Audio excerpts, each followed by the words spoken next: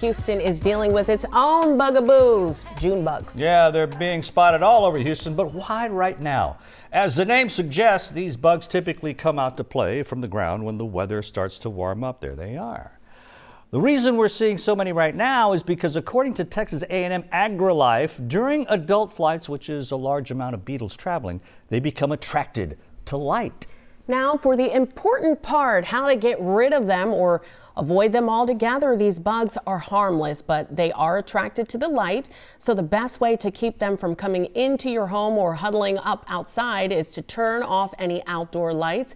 If you plan on using pesticides, now is not the time to do it since they are laying eggs right now and that won't kill the eggs. It'll just hatch and then you'll have the bugs all over again. So just turn off the lights mm -hmm. because you know you open up that front door and they just come flying in. Yep, I turn off all the lights, let the dogs out, then I'll turn the lights on just for a hot second to make sure they're okay, and then I'll turn them off again because we don't get down There's with the your tip from Kimberly this morning. all right.